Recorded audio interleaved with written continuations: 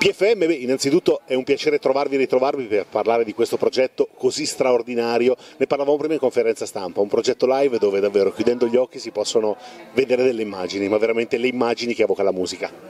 Eh, grazie per questo complimento perché è esattamente quello che volevamo fare e quando sentiamo qualcuno che dice grazie perché eh, questo e questo e questo noi siamo contenti perché facciamo i concerti col pubblico, il pubblico è presente, il pubblico eh, lavora con noi nel, senso che è partecipe, facciamo partecipe il pubblico, facciamo delle scalette che cambiano in continuazione perché non ci piace stare fermi ma ci piace sempre continuare a spostare l'asticella più avanti perché la corsa è ancora lunga. Sì, anche perché,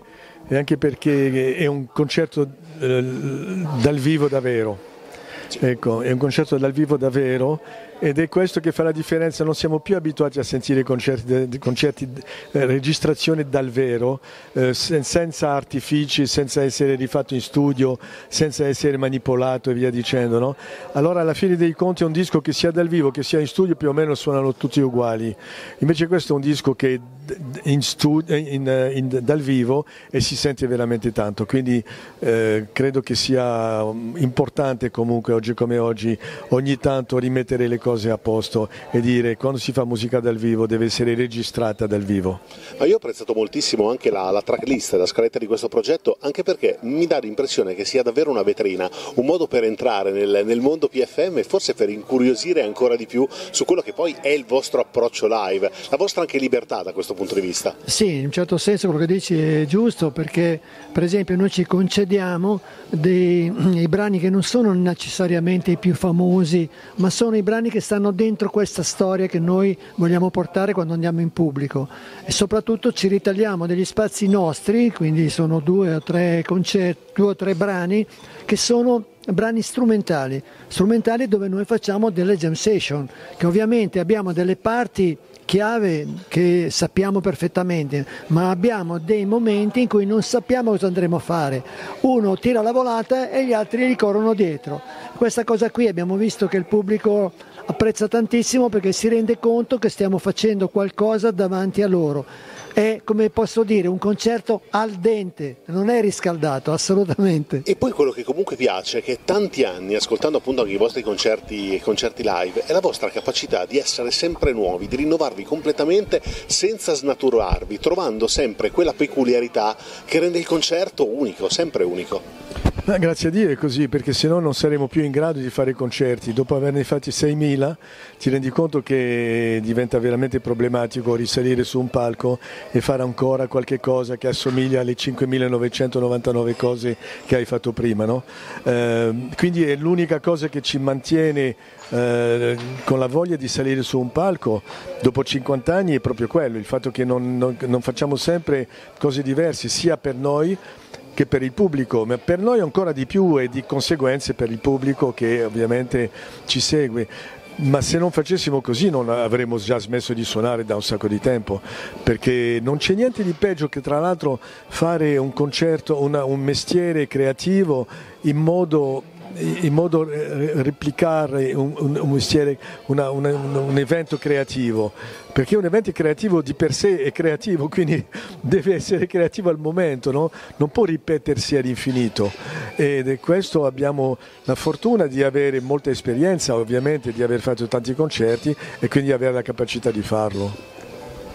Una cosa bella è che spesso incontriamo delle persone che dice io ho visto il concerto di e, e quindi hai sempre eh, intorno persone che hanno visto un concerto e che ne vedono uno, uno, e dicono ma questo è nuovo, non è quello di prima. Ma certo, se no non saremmo qui, guarda. Ma poi quello che è il bello è che tutti questi concerti, tra l'altro verranno nuovamente, questi nuovi concerti poi faranno parte di una collana, di una, di una sì. catena anche di... Sì, sì, eh, ci piace questa idea di, di fare una fotografia ogni volta che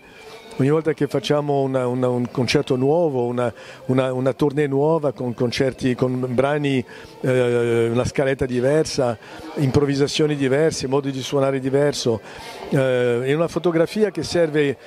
a tutti, serve al pubblico e serve anche a noi, perché è bello andare a, sentirci, a sentirti quello che hai fatto, no? perché tu lo senti dal vivo. È un po' quando, quando, abbiamo, quando abbiamo, visto il film, il, film la, una, il concerto ritrovato, quello con Fabrizio, per la prima volta ci siamo visti da davanti con Fabrizio, perché non, noi no, Fabrizio lo vedevamo sempre da dietro. Allora è bello ogni tanto avere una, una, testimonianza che ti fa vedere quello che fai dall'esterno ed è una cosa molto bella, quindi senz'altro faremo questa cosa di avere questa, questa, questi concerti che verranno registrati qua e là. Eh, una delle cose belle veramente a cui teniamo è, è il fatto di, di, crearci degli spazi che sono di improvvisazione. Noi sappiamo, abbiamo dei punti di riferimento in cui noi ci troviamo tutti, è come darci l'appuntamento e poi ritrovarci, però abbiamo delle parti interne dove non sappiamo cosa succede, perché di, può essere un assolo di basso, può essere un assolo di chitarra, può essere un assolo di organo e queste cose qui sono quelle che ci danno la linfa vitale perché stiamo giocando,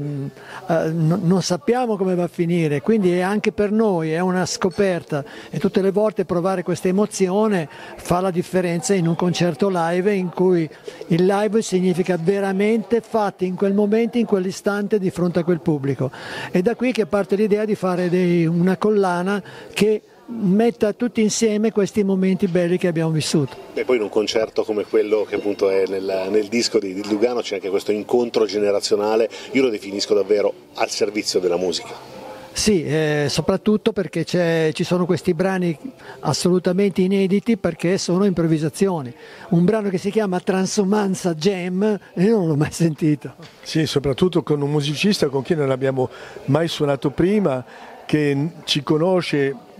attraverso suo papà che è un musicista professionista anche lui, ci conosce perché abbiamo fatto parte dell'inizio della sua carriera no? eh, e quindi